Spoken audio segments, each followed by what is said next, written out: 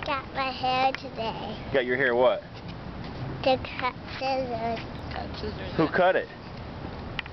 Who cut your hair? Jew. Who is Jew? Troy's not a Jew. Okay, unlucky. your. Say Troy. Troy cut my hair. Yeah.